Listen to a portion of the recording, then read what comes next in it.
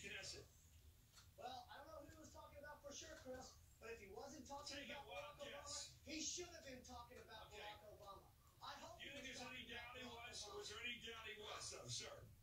Not was in my mind, there wasn't. No, not Okay, in my mind. And you think it was a fair shot And to go overseas and to take a shot politically against